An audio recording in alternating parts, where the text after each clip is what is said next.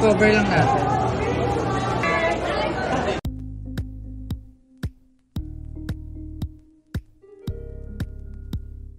Naghayag ng suporta si Unkabogable Star Vice Ganda sa premiere night ng MMFF movie ng kanyang kaibigan sa industriya na sina, Piolo Pascual, Janela Salvador at Ellis Joson.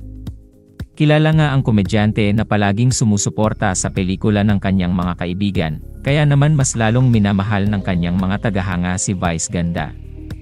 Narito at panoorin natin ang ilang eksena sa premiere night ng pelikulang Malyari. Mag-uumpisa na po tayo. Let us all enjoy the movie. Maraming maraming salamat po sa pagpunta. Uli ako po si Ina Evans. Magandang gabi po.